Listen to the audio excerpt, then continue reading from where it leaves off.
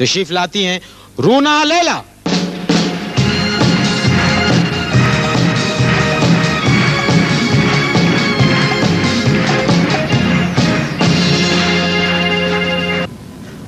रूना, बहुत दिनों बाद आप यहाँ आई हैं। कैसा लगा आपको? बहुत अच्छा लग रहा है। क्योंकि पाकिस्तान से बड़ी अच्छी यादें वाबस्ता हैं। सारे बचपन के दोस्त और वेल uh, विशेस मेरे फ़न के परस्तार सभी यहाँ हैं और अ, उन्हीं की याद मुझे बार बार यहाँ खींच लाती है। अच्छा ये बताइए आपके अभी भी आपको लोग यहाँ पर पहचान लेते हैं? हाँ पहचान लेते हैं। ये बताइए पहला गाना आपने किस उम्र में गाया? बारह साल की उम्र में।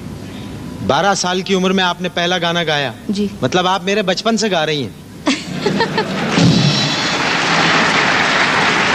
कह सकते हैं। वैसे आपकी उम्र क्या है? मेरी उम्र सैतीस साल है। 81 में मुझसे मिले थे अमेरिका में तो उस वक्त तो आपने बताया था कि आपकी उम्र 45 है। मैं अमेरिका में जाके मेरी उम्र कम हो जाती है। लेकिन इसकी कोई वजह तो होगी? सफ़र की थकान की वजह से। रूना कितने अवार्ड्स आपने हासिल किए अब तक? सौ डेढ़ सौ हो जाएँगे। होंगे। तो इसका मतलब है आपने गाने कम गाए अवार्ड ज़्यादा लिए? नहीं ऐसी तो कोई बात नहीं है ऐसे गाने भी काफ़ी गाए। आपका सही नाम क्या है? रूना लैला है या अरुणा लैला है? आ, काफ़ी दफ़ा लोग जो है डिफरेंट तरीके से मेरा नाम लिखते हैं। वैसे सही नाम तो रूना है ये बताइए कि उस वक्त के कराची और आज के कराची में आपको क्या फ़र्क महसूस होता है? ये आप तो इस तरह कह रहे हैं कि इस वक्त और उस वक्त जैसे कि मैं कोई सौ साल पहले यहाँ रहती थी।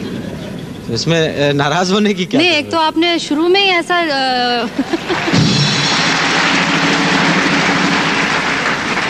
एक तो आपने शुरू में ही ऐसा कह दिया कि मेरे बचपन में आप गाया करती थी तो अब उसके बाद आप ये बात कर रहे हैं तो कैसा वो हो जाती हैं खातन उम्र के मामले में? ज़ाहिर है।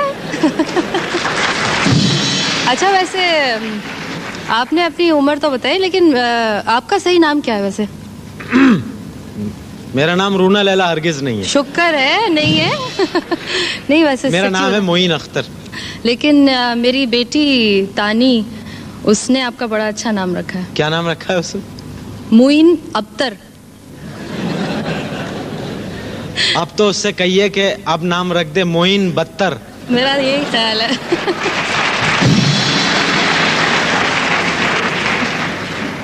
रूना आपको फ़िल्मों में ऑफर्स हुई हैं काम करने की तो आपने कभी सोचा कि आप अदाकारी की तरफ़ भी चली जाएँ?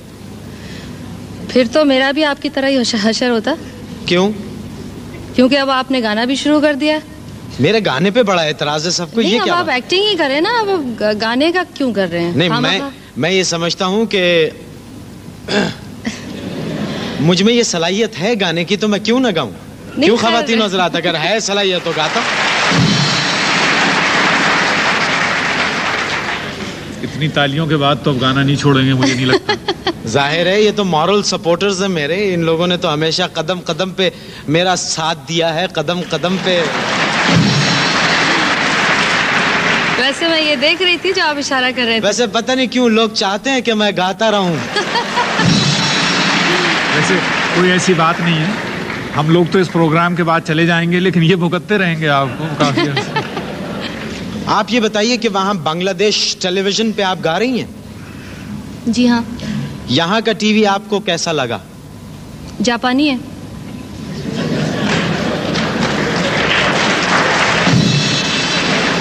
मैं टीवी सेट की बात नहीं कर रहा हूँ टीवी प्रोग्राम्स की बात अच्छा कर तो रहा हूँ। ऐसा कहे ना आप कह रहे हैं अब टीवी कैसा लगा आपको? तुम अच्छा है या नहीं? तो मैं तो समझे आप शायद सेट की बात कर रहे हैं। नहीं प्रोग्राम प्रोग्राम कैसा लगता है आपको यहाँ का?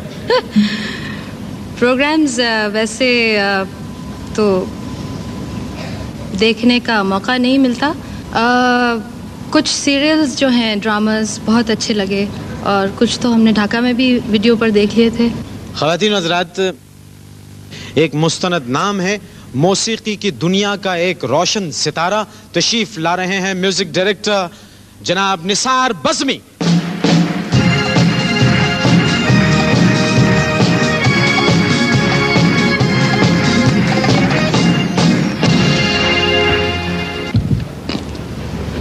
बजमी साहब, आपकी और मेरी प्रॉब्लम एक ही है। क्या मतलब?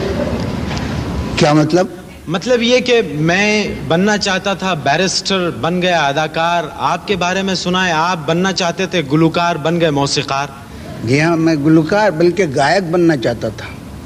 गुलकार और गायक में क्या फ़र्क है? गुलकार एक हल्का फुल्का गाने वाला होता है। गायक बहुत बड़ा गाने वाला होता है। गवैया होता है। तो आप तानसेन तानसेन की तरह से आप जी हाँ। मतलब आप चाहते थे कि वो जब आप गाएँ तो दिए जल उठे हाँ, और हाँ। पानी बरसने लगे। हाँ और अगर वो गाता तो ज़रूर दिए जलाता ज़रूर पानी बरसाता। अच्छा तो बात कहाँ तक? ट्यूबलाइट तक आके रह गई? जी हाँ वहीं तक रहा। हाँ बजमी साहब ये सवाल मैं आपसे ज़रूर करूँगा। क्या इन किस्सों में सदाकत है कि तानसेन जब गाया करते थे तो वो चिराग जल जाया करते थे? ये सही बात है ये या ये महज किस्से हैं? जी हाँ नहीं सही बात थी। इसलिए कि वो बड़ी पाकिदगी और रूहानियत के साथ गाते थे। उसमें कोई किसी किस्म की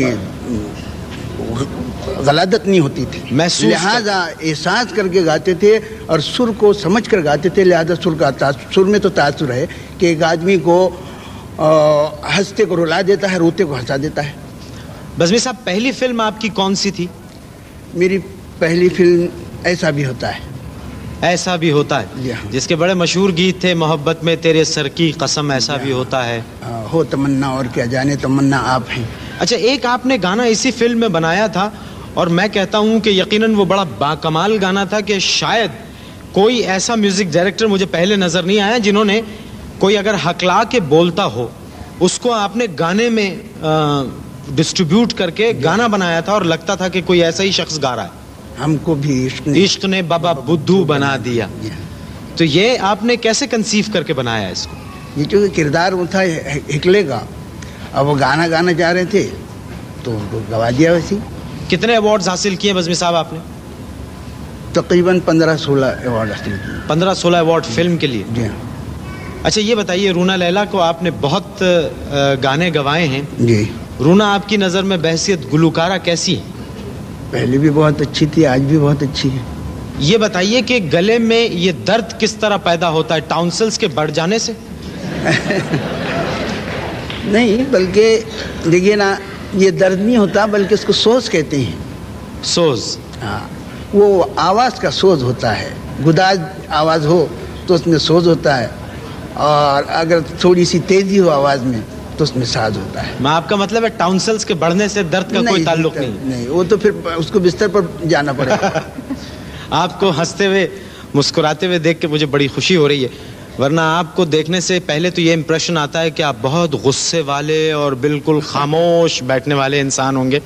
लेकिन आप बड़े हलीम हैं बड़े शफीक तबीयत के मालिक हैं। तो मैं ये चाहता हूँ कि आपकी इन मुस्कुराहटों में बल्कि आप सबकी मुस्कुराहटों में मैं मज़ीद इजाफा करवा दूँ। इस सिलसिले में एक ऐसे साहब को जहमत दे रहा हूँ, जो स्टेज की दुनिया का एक जाना पहचाना नाम है। तशरीफ़ लाते हैं अयाज खान। एक साहब की सास को अगवा कर लिया गया। तीन दिन के बाद टेलीफोन पे आवाज़ आई, हेलो, पाँच लाख रुपया पहुँचा दें, वरना हम आपकी सास को छोड़ देंगे।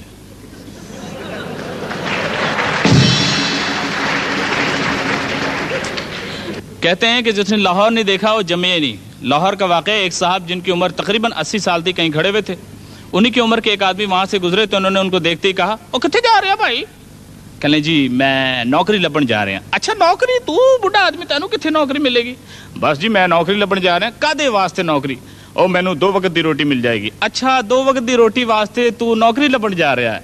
तू इंज कर, तू मेरे यहाँ नौकरी कर ले। दो वक्त की रोटी तेन मेरे यहाँ मिल जाएगी। अच्छा। कम की होएगा? दाते दरबार जाई अपनी खावी मेरी ले आवी।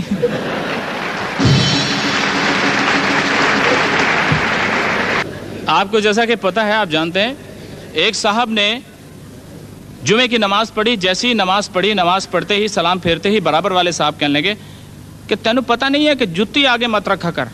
जुत्ती आगे रखने से नमाज़ नहीं होती। उसको गुस्सा आगे कहने लगे जुत्ती पीछे रखने से जुत्ती नहीं होती। Thank you.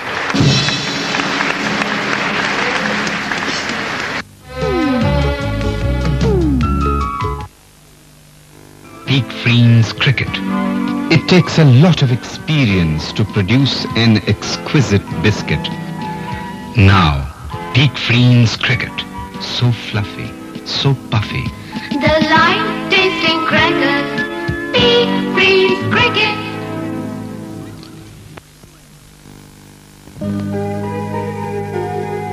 Rexona.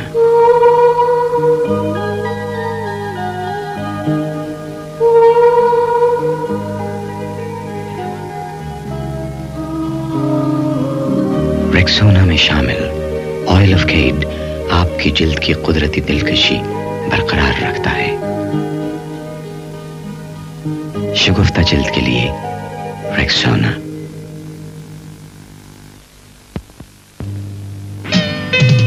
का गेस्ट ऑफ़ लिक्विड मेदे की गैस, तेजाबियत, हाथ पाँव और सीने की जलन और मतली की कैफियत में आराम के लिए मुफीद। अर्शी की मसनुआत, तहकीक की रिवायत मैार की जमानत। नजला, जुकाम और फ्लू के लिए मुफीद जोशांदा। अब फ़ौरन हल हो जाने वाले इंस्टेंट जौहर जोशांदा की शक्ल में। कर्शी का इंस्टेंट जौहर जोशांदा।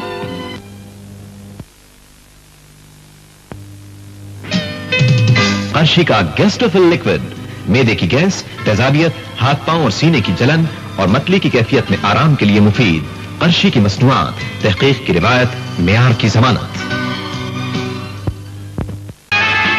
सबसे बेहतर सबसे उनका सबसे है। आज टॉनिक का है।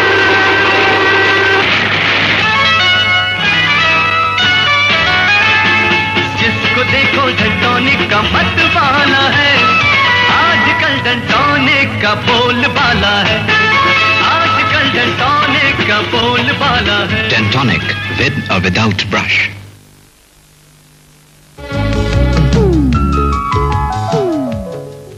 जिस तरह से मौसीकी रूह की गज़ा होती है मेरा ख्याल है हंसना हंसाना भी रूह के लिए बहुत अहम है। सेहत के लिए बहुत सेहत के लिए भी यानी हम जैसे लोग बड़ा कारनामा कर रहे हैं कि लोगों की सेहतें ठीक कर रहे हैं। करेंगे हाँ, यानी उनको खुश करके। अपनी खराब हुई जा रही है लोगों को खुश करने जी हाँ बिल्कुल हमेशा चराग तले अंधेरा ही रहता है।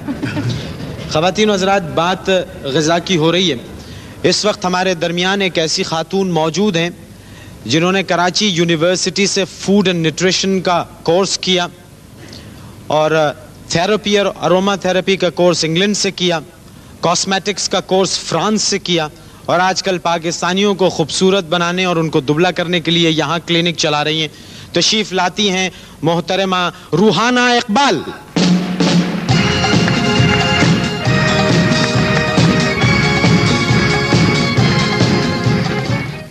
रूहाना साहिबा, हमारे यहाँ पर पहले तो ये बताइए कि ये मुतवाजन गज़ा का क्या तस्वुर है? मुतवाजन गज़ा जो है, वो हमें नॉर्मल और फिट रखने के लिए बैलेंस डाइट जो होती है, उसको कहते हैं। आपको मालूम है, हमारे यहाँ ज़्यादातर लाइक्स एंड डिसलाइक्स पे हम लोग अपना मीनू बनाते हैं। जो पसंद है, वो रोज़ खाए जा रहे हैं। बेशक उसके असरात कुछ भी हों। और उसी लिहाज से ये है कि जो चीज़ जिसम को चाहिए, हम उसको फ़ीड ही नहीं करते। उसमें यह भी ज़रूर हो सकता है कि हमें ख़ुद वो इल्म ही नहीं है कि मुतवाजन गज़ा क्या है। और उसके लिए मेरे ख्याल में मेरे ऑडियंस के लिए मैं बहुत छोटी सी और आसान तरकीब जो नॉर्मल फिटनेस के लिए उनको बताना चाहूँगी कि अगर आप अपनी डाइट में चार हिस्सों में ग्रुप हम अपने खानों को डिवाइड कर देते हैं कि एक आपका मिल्क ग्रुप है, एक आपका सीरियल ग्रुप्स है जिसमें अनाज और उससे ताल्लुक़ रखने, सब्ज़ी और फल हैं और चौथा गोश्त की है। और दिन के तीनों खानों में अगर आप इन तीन चारों ग्रुप्स में से एक एक हिस्सा शामिल कर लेंगे तो आपकी डाइट बिल्कुल बैलेंस होगी, जिसको मुतवाजन गज़ा कहा जाएगा। मतलब ये तो गरीब आदमी तो बेचारा ज़िंदगी भर ये नहीं कर सकता। नहीं अगर गरीब आदमी भी वो सिर्फ़ पसंद और नापसंद के चक्कर में रहे तो नहीं कर सकता क्योंकि ये नहीं है कि आप जाके बीस रुपए किलो के सेब खरीदिए उसके सब्सिट्यूशन भी हैं कि आप बेर भी ले सकते हैं जो मौसम में दूसरे फल हैं वो भी ले सकते हैं। चीज़ें भी हैं। जी हाँ वो अच्छा ये आप ब्यूटी क्लिनिक और ये स्लिमिंग क्लिनिक एक साथ चला रही हैं गालिबन तो ये क्यों लोगों को दुबले मर्द ही क्यों अच्छे लगते हैं? मोटे मर्द क्यों नहीं अच्छे लगते? मोटे आदमी भी अच्छे लगते मेरे ख्याल में तो वही बात है कि beauty lies in the eyes of the beholders मैं कहूँगी कि अपनी अपनी पसंद है, कुछ को मोटे पसंद है, कुछ को दुबले पसंद है, और उसके लिहाज से ये है कि बैलेंस जो है वो हर चीज़ का ज़्यादा बेहतर होता है। और हमारे यहाँ जो ब्यूटी क्लिनिक आप कह रहे हैं और स्लिमिंग क्लिनिक टुगेदर जो चला रहे हैं उसमें सिर्फ़ ये है कि हमारे मेरे नज़दीक हुस्न का ताल्लुक जो है वो सिर्फ़ शक्ल से नहीं है पूरी पर्सनैलिटी इन्वॉल्व होती है। आप अगर सिर्फ़ दुबले हो जाएँ और अपनी चेहरे की जल्द और उसकी हिफाजत ना करें हशर हो जाएगा आपका। अगर आप बहुत दुबले हैं तो भी आपके लिए प्रॉब्लम है। मतलब आदमी हो तो मेरी तरह का हो दरमियाना सा। कुछ ज़्यादा खुश है मोइन ये बताइए आपके क्लिनिक पे क्या मर्द हजरात भी आते हैं कि ज़रा मुझे खूबसूरत बना दीजिए मैं ज़रा अच्छा लगूं? हमारे पास रिस्ट्रिक्शन है क्योंकि ये सिर्फ़ फीमेल्स के लिए है। जी। अगर मेरे ख्याल में इजाज़त हो तो इसमें कमी नहीं होगी क्योंकि जब भी कहीं भी किसी रिसाले में ख़तों के जवाब की बात आई है और अगर मैंने जवाब देने शुरू किए हैं तो सबसे ज़्यादा आदमियों ही के जब खत आते हैं उसके बारे में पूछने के लिए। नहीं ये गलत बात कर रही हैं आप। मेरे ख्याल में अच्छा देखिए सिर्फ़ खातन ने ताली बजाई है मर्द सब खामोश बैठे क्योंकि वो शर्मिंदा है ना भाई। और या मैं ये भी कह सकती हूँ कि मर्दों के पास से हुसन ज़ौक ही ख़त्म हो चुका है कि वो भी अपने आप को लुक आफ्टर करें। मेरे ख्याल में उनको लुक आफ्टर करना चाहिए अगर नहीं कर। रहे हैं देखिए बेगम इकबाल यहाँ मैं इतफाक़ नहीं करूँगा। कभी आपने मर्दों की तैयारी देखी है? ये शर्ट पहनी ये कोट पहना ये कंगी मारी और तैयार निकल गए। मोइन अभी बता दो यहाँ स्टेज पे आने से पहले आपको कितनी देर लगी है आने पे?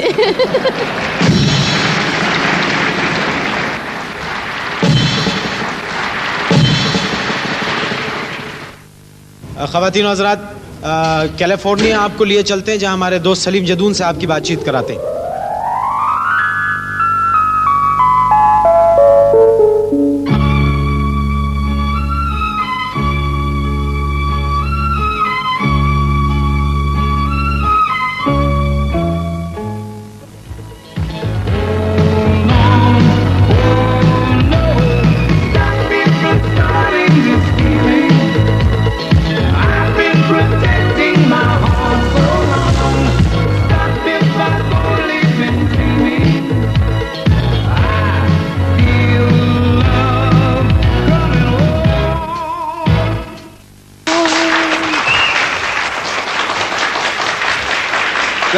Thank you. Very much. Thank Jadun, this is Moin Akhtar from PTV. Oh, hi, Moin. How are you? I'm fine, thank you. How are you? I'm fine. How long you have been singing in America, Jadun? Uh, it's been about uh, nearly 10 years now. Oh, quite a big time. Have you ever Right. tried and sing in Urdu? I've never tried to sing in Urdu before, but uh, I have a special song for my country. All right, then let's have it. Okay? All right. Let's go. Come on.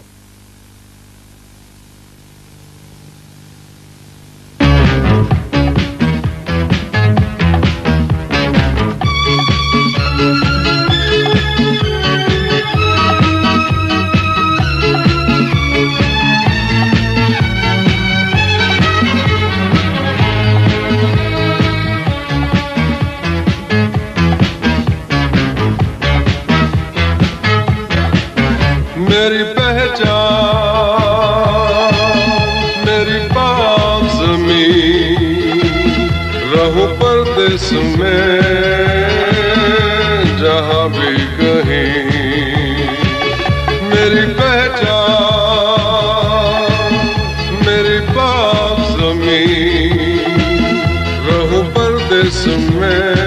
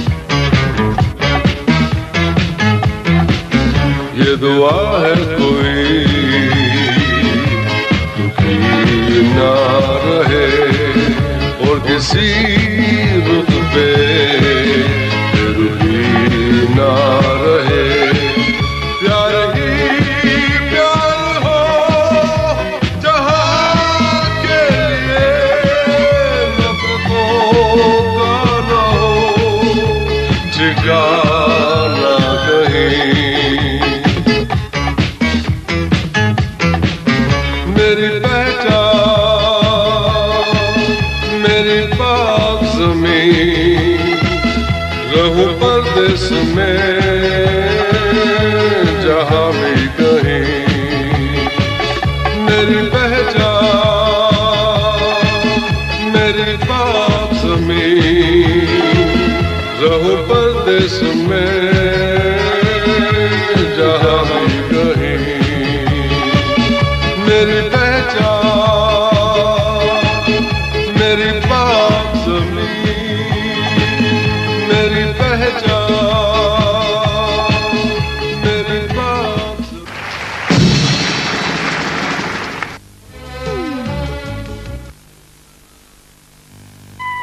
Freens Pied Piper invites you to a new experience of excellence. Peak Freens Farmhouse Cookies. Almond and honey, coconut crunch, butter crumble, and nutty milk. Peak Freens Farmhouse Cookies.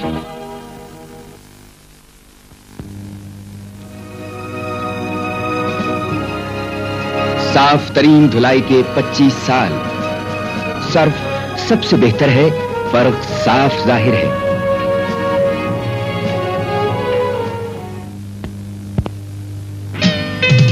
Arshi का guest of liquid मेदे की gas, तेजाबियत, हाथ पाँव और सीने की जलन और मतली की कैफियत में आराम के लिए मुफीद। अर्शी की मसनुआत, तहकीक की रिवायत मैार की जमानत।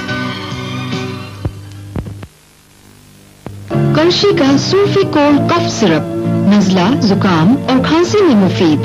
करशी का सूफी कोल कफ सिरप। करशी की सूफी कोल टैबलेट, गले की खराश और खांसी से आराम के लिए करशी की सूफी कोल टैबलेट।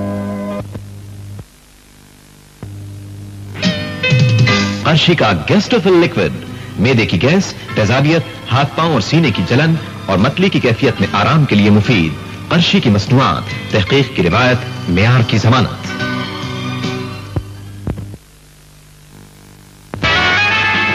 सबसे बेहतर सबसे उनका सबसे आना है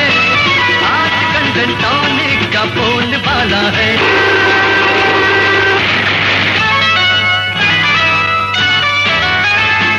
जिसको देखो डंटॉनिक का मत बाला है आजकल डंटॉनिक का बोल बाला है। आजकल डंटॉनिक का बोल बाला है। Dentonic, with or without brush.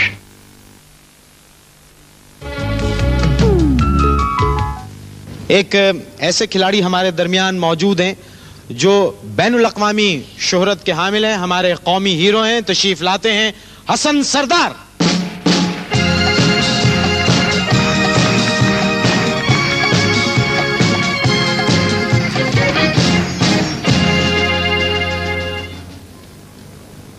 Hasan आपने देखा कि लोग आपसे कितनी मोहब्बत करते हैं? जी हाँ ये लोगों की मोहब्बत है खुलूस है। तो ये इतनी मोहब्बत सिलेक्टर्स के साथ क्यों नहीं करते? अगर धांधलियाँ वो करनी छोड़ दें तो लोग ज़रूर मोहब्बत करेंगे उनसे।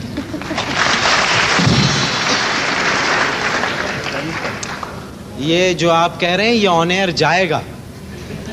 हाँ मुझे अब कोई फ़र्क नहीं पड़ता।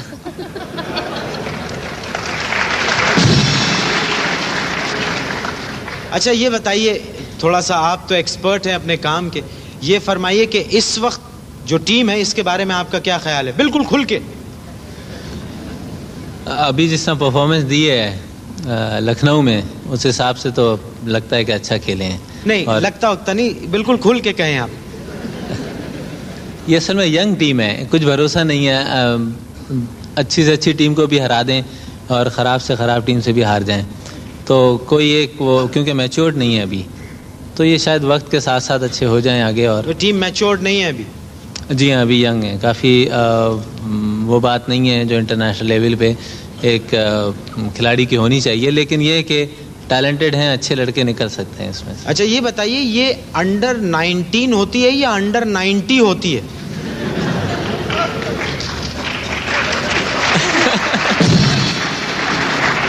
इतना तो फ़र्क नहीं रखे आप ये दो तीन साल का रख लें। तो इसमें इतना हंसने की क्या ज़रूरत है? आपने अंडर 90 बोला तो मुझे अपना याद आ गया कि कहीं मुझे तो नहीं कह रहे आप। अच्छा ये बताइए हसन ये जो क्या कहते हैं उसको ऑस्ट्रोट्रैफ ये जो है ये कहीं हमारी टीमों को बर सग़ीर की टीमों को कमज़ोर करने के लिए तो ये हमारे वहाँ नहीं भेजा गया ये? नहीं मोइन साहब ऐसी बात नहीं है। आ, मेरे ख्याल से हमें हम तो खेलते हैं फॉरवर्ड पे डिपेंड करते हैं मतलब ऑफेंसिव खेलते हैं। तो उस हिसाब से तो एस्ट्रोटर बहुत अच्छी है। और फॉरवर्ड लाइन पे बेस करते रहे हम। तो आप देखें कि जब ये नई इंट्रोड्यूस हुई है सेवेंटी नाइन एटी तो हम ये सारे दुनिया में टूर्नामेंट जीतते रहे। अब हमें फ़र्क इसलिए महसूस हो रहा है कि हमारी टीम वो नहीं रही। उनकी वही टीम है जिनको हम हराते रहें। लेकिन हमारे सब चेंज होते रहे तो अब वो हमसे बेहतर हो गए ये बताइए कि ये हॉकी खेलने वालों को मुआवजा कितना मिलता है? कुछ भी नहीं मिलता ये बीस रुपए मिलते हैं डेली। तो मैं यानी तो ये इसके अलावा बीस क्या फ़ीस अभी लीला खेलते हैं आप लोग?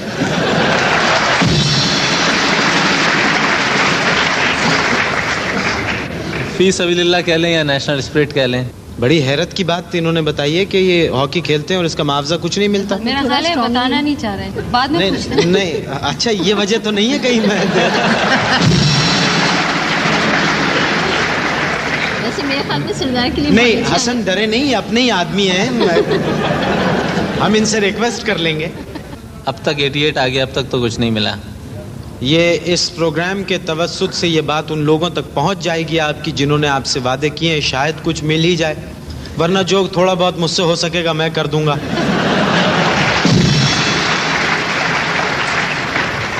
नहीं, खैर, ये तो मैं मज़ाक कर रहा था, अल्लाह का दिया तो आपको बहुत कुछ है।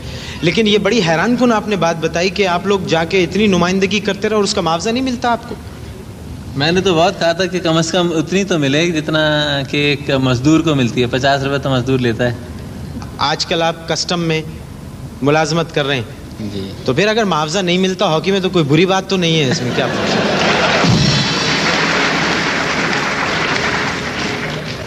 हसन कभी खेल के दौरान आपको गुस्सा वगैरह आया? अक्सर आया है जी। किस पे? सब पे अपने आप पे भी आया है और खिलाड़ियों पे भी आया अंपायर पे भी आया ये क्योंकि उस वक्त गर्म थोड़ा खून थोड़ा गर्म होता है। अच्छा मतलब ग्राउंड में खोलन होती है दिमाग में भी और जिस्म में भी और घर में? घर में तो ठंडा? ठंडा बिल्कुल। क्योंकि वहाँ वहाँ पर बीवी खेलती है हॉकी हमसे।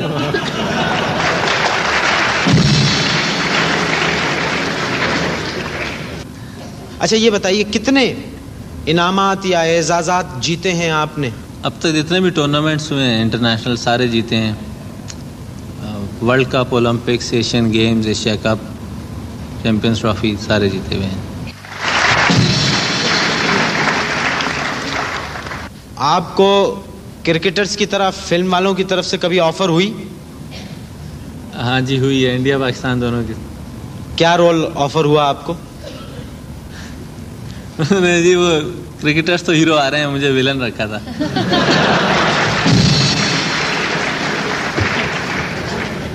हाँ लगते भी हैं आप थोड़ी मूछे बढ़ा लें तो बिल्कुल वही हाथ में गंडासा लेके। ये शादी नहीं हो सकती। अच्छा हसन ये बताइए आपको मौसीकी से गाने से दिलचस्पी है? गाना गाता तो नहीं हूँ मैं। नहीं मैंने आपको कहा भी नहीं है गाने के लिए। मैं सिर्फ़ पूछ रहा हूँ गाना सुनने से दिलचस्पी है आपको? जी हाँ बिल्कुल। मैंने कहा शायद आप फंसाने की कोशिश कर रहे हैं मुझे। गाना और फिर रोना लैला साहब आप मौजूद हों तो फिर मज़ा आ जाता है तो मैं तो मुँह इधर कर लेता हूँ आप ही इनसे रिक्वेस्ट कीजिए कि गाना सुना रोना जी प्लीज़ अगर आप गाना तो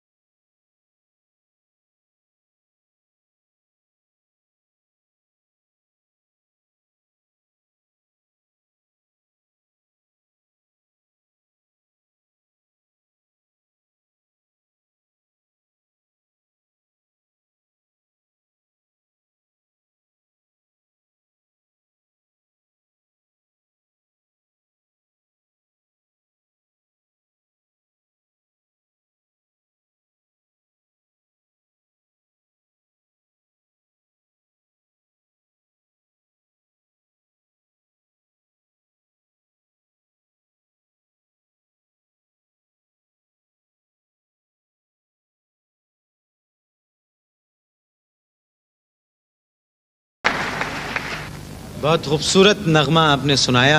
बज़मी साहब ये आपकी म्यूज़िक में था ये गाना? जी हाँ जी हाँ। यानी आपकी शख्सियत को देख के ये लगता ही नहीं है कि ये धुन आपने बनाई होगी।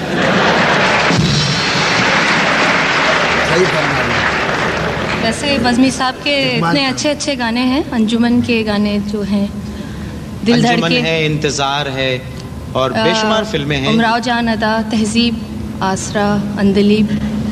मेरी खुशकिस्मती है कि इन्होंने मुझे गवाए हैं। कभी अल्लाह ताला इनके दिल में रहम डाले और ये मुझे भी एक आध गाना गवा दे। ज़रूर गवा दूँगा। मैंने जो कहा उस पर अमल कीजिए। उस वक्त करते ना जिस वक्त यानी मैं गाना गा रही थी और आप उस वक्त मतलब आपका बचपना था। अच्छा वो दिल दिल में ले बैठी हैं आप वो ओहो ये था असल किस्सा। अच्छा अच्छा ये तो आप ये बताइए कि आप भी उन्हीं खवातीन में से हैं जिन जो ये कहती हैं कि उम्र हमेशा घटा के बताती हैं?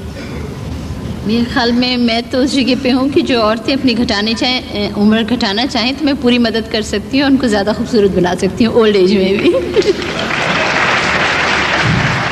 क्या खूबसूरती से आपने अपनी उम्र छुपाई है? हसन सरदार गाना कैसा लगा आपको? बहुत अच्छा गाया जी। तो इसमें शर्मिंदा होने की क्या बात है? यकीन जानिए, जब भी हॉकी की तारीख लिखी जाएगी, मेरा ख्याल है हसन सरदार का नाम उसमें सुनहरी हरूफ में लिखा जाएगा।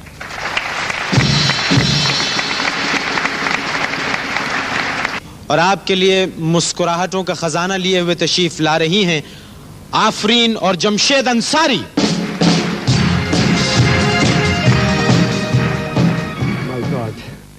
परेशान हो गया हूँ। मेरे कुछ समझ में नहीं आ रहा है कि ये पैसा कहाँ से आया वो पैसा कहाँ से आया ये रजिस्टर लेकर आओ वो रजिस्टर ले इनकम।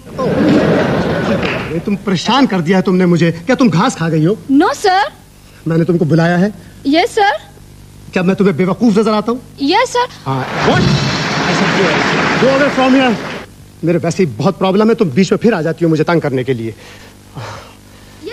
हाँ अब क्या हुआ? सर एक बात याद आई। अब क्या बात याद आ गई? इनकम टैक्स वालों ने खाते मांगे थे। खाते खाते खाते। इस इनकम टैक्स में एक ही तो बुराई है कि इसमें खाते बहुत हैं। वैसे सर हाँ। मैं उनसे क्या कहूँ? कहना क्या है? कहना क्या है? भाई जाके उनकी खिदमत में खाते पेश कर दो।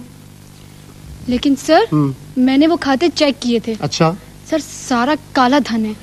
उजला धन वाला खाता ब्लैंक होता है बीबी। सर। हम्म, क्या ये ब्यूटी पार्लर वाले काले धन को गोरा नहीं कर सकते? हाँ अगर इनसे टैक्स न लिया जाए तो ये कोयले को भी गोरा कर दे। तुम तो धन की बात करती हो। सर। इससे तो बेहतर होता आप कोई फनकार होते फनकार होता? मैं कुछ समझा नहीं। सर अब देखिए ना। बड़े बड़े अदाकारों गुलकारों को? हम्म, उन पे टैक्स लगता है ना? हम्म, हाँ बिल्कुल लगता है। लेकिन सर वो तो कभी परेशान नहीं होते। इसी तरह गाते रहते हैं कभी यहाँ कभी वहाँ कभी कहाँ। तुम कहना क्या चाहती हो? मैं कुछ समझ नहीं पा रहा हूँ। सर अब रूना लैलो को देखिए। इन पर भी टैक्स लगता होगा तो क्या ये इसी तरह परेशान होती होंगी? नहीं नहीं नहीं नहीं आफरीन भला रूना लैला क्यों परेशान होने लगी? अरे भाई ये तो अपना दुखड़ा अपने प्रॉब्लम्स गा गा कर सुना देती हैं। अब हमारे बड़े साहब इतने पत्थर दिल भी नहीं है कि इनका गाना सुनकर बात तो बताएँ, क्या हमारे हॉकी के खिलाड़ियों पर भी इनकम टैक्स लगता है? पचास रुपए लेने वाले पर तो सिर्फ़ गुंडा टैक्स ही लग सकता है। तुम इनकम टैक्स की बात कर रही हो।